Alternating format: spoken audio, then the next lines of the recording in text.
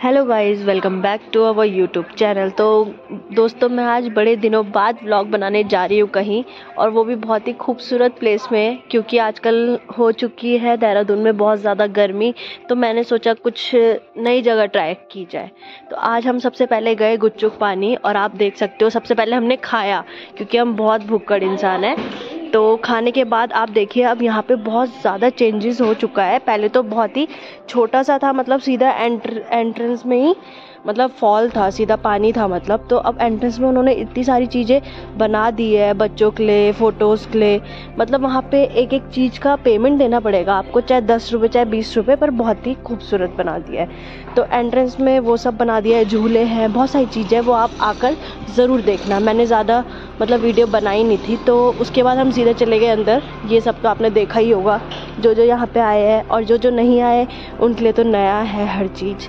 पर यहाँ पे बहुत ही खूबसूरत था अंदर जाके। डर तो लग रहा था, ऐसा लग रहा था सांप ना आ जाए या कुछ ना, पर बहुत ही अच्छा था। यहाँ पे बहुत ज़्यादा रश भी होने लग गया। पहले यहाँ पे बहुत कम लोग आते थे, पर यहाँ पे अब बहुत ज़्यादा लोग आने लग गए।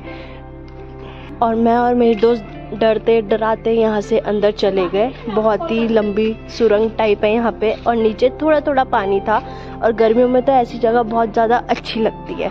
तो हम लोग चले गए यहाँ पे बहुत मतलब पहाड़ों में चढ़ चढ़ के हम सबसे ऊपर वाले मैगी पॉइंट में जा रहे थे जो कि यहाँ पे सिर्फ़ एक है, जो पानी में बैठ के हम मैगी खा सकते हैं। उसके बाद हम सबसे मतलब ट्रैकिंग करके ऊपर तक गए। लोगों ने हमें मना करा, मत जाओ पर हम तब भी चले गए। तो देखा तो यहाँ पे बहुत ही खूबसूरत मैगी पॉइंट था। वहाँ पे बैठ के हमने मैगी खाया और मैगी के साथ आप सोच नहीं सकते हमने क्या किया। हमें बहुत ज़्यादा भूख लगी थी तो मेरे पास नमकीन भी थी, संतरा भी था, सब कुछ था तो हमने मैगी लाए, मैगी में ही मतलब नमकीन डाल दी और बहुत ही खूब मतलब बहुत टेस्टी बनाकर हमने वो मैगी खाई और हमारा पेट भी भर गया था और उसके बाद हमने सोचा कि रात ना हो जाए तो हमें यहाँ से जल्दी जल्दी वापस भी जाना है। तो उसके बाद आप देख सकते हैं पूरा व्लॉग देखने के लिए। बने रहिए हमारी वीडियो में। आगे जाकर आपको पता ही चल जाएगा हमने और क्या क्या करा।